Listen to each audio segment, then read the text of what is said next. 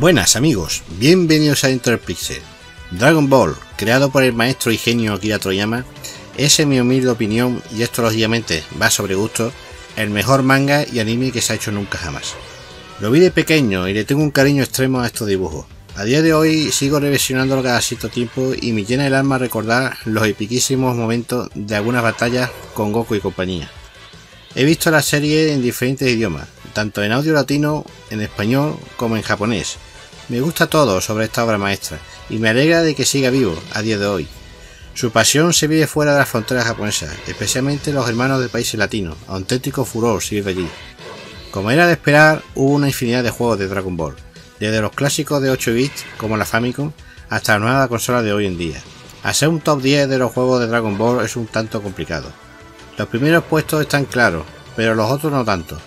Es por eso que he decidido meter algunos clásicos, para darle vidilla y demostrar que no todos son juegos en 3D. Así pues, vamos con el top 10 de los mejores juegos de Dragon Ball. Antes de empezar me gustaría hablar de un desconocido juego, llamado Dragon Ball Zenkai Battle. Se trata de un exitoso juego de los arcades que actualmente solo se puede jugar allí, en Japón.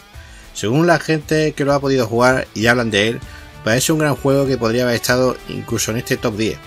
Lamentablemente no he podido jugarlo y es por eso que no está en la lista, pero parece un juego muy divertido. Después de este apunte, vamos al top. En el número 10 tenemos a Dragon Ball Z La Perle du Destin, un juego para nuestra querida Mega Drive, que por cierto fue el único juego que salió en esta consola. Lanzado en el año 1994, es un juego de lucha de los que estaban de moda en los 90, divertido y diferente respecto a lo de Super Nintendo, seguramente por exclusividad a la gran Nintendo. 11 personajes controlables, sentados en la saga Namek y en la saga de los androides, gráficos estables y una música para recordar, hizo de este juego que fuese muy querido para los segueros de la época. En Europa, por cierto, solamente se lanzó en algunos países. Un gran juego. En novena posición tenemos a Dragon Ball Z Hyper Dimension. Lanzado en 1996, es el último juego de esta serie para la Super Nintendo. Es el que mejores gráficos tenía, pero también el que más se diferenciaba de la saga Putoiden. Para muchos es el mejor de Super Nintendo. Este Hyper Dimension eliminaba el famoso split screen o pantalla partida y hacía que los combates se sentasen mucho más en los ataques cuerpo a cuerpo. El juego apareció cuando ya el manga había terminado y se basaba en la saga Boo, con solo 10 personajes seleccionables. Lamentablemente el modo historia de este juego fue eliminado en las versiones occidentales, quedándose completo solo en territorio japonés. Una pena. En octavo lugar llega Dragon Ball Z The Legend. Lanzado en Sega Saturn y PlayStation en 1996, es uno de los juegos de Dragon Ball más diferente y curioso que se hizo en esos años. Solo la versión de Sega Saturn llegó a tierras occidentales.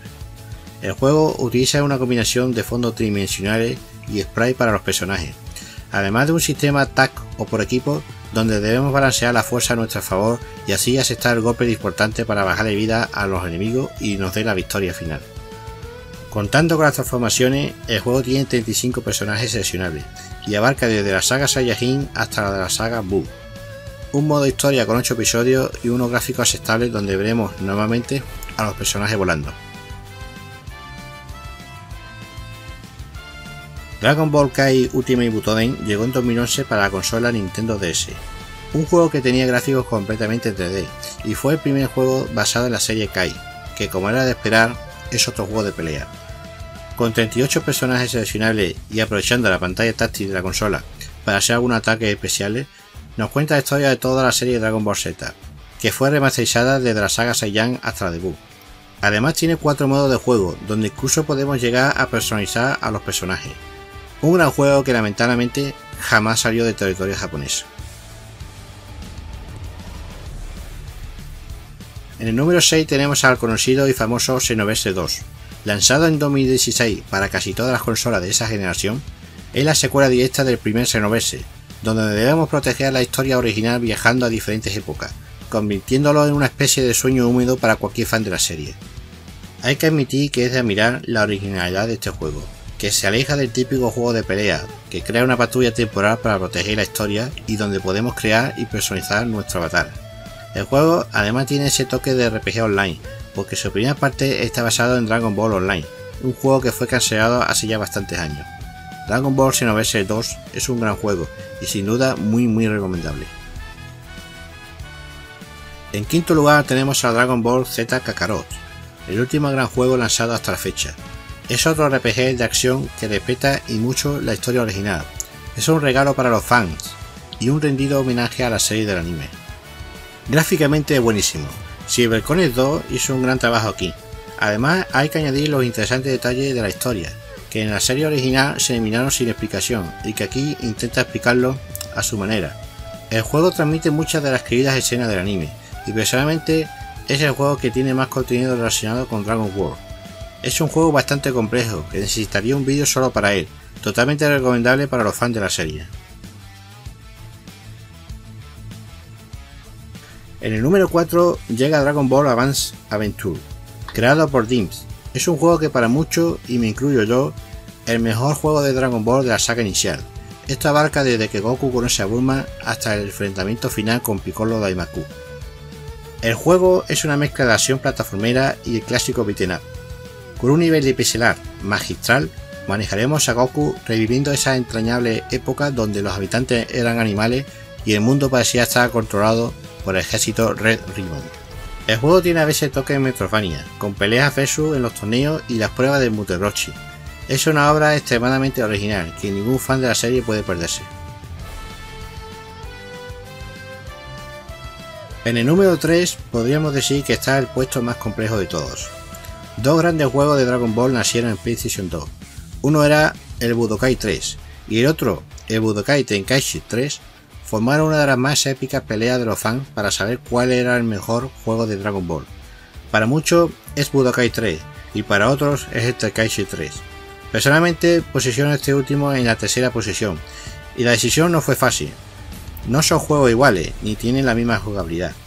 Tenkaichi 3 es el culmen de todo lo aprendido en sus anteriores entregas.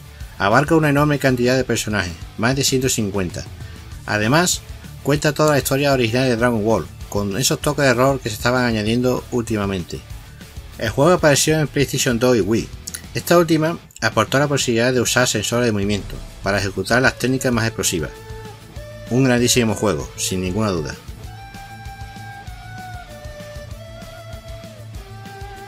En segunda posición, lógicamente, tenemos al Dragon Ball Z Budokai 3, del año 2004 para PlayStation 2 y desarrollado de nuevo por Dimps.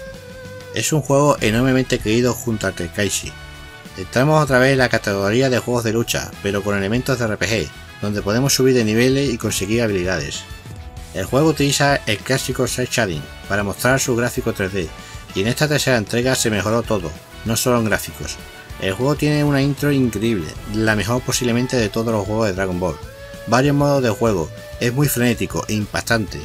La música es muy buena y una jugabilidad que a día de hoy ha envejecido increíblemente bien. El juego es una joya que tiene una acción muy directa, tocando incluso el estilo de los clásicos arcade, y que para muchos es el mejor juego de Dragon Ball.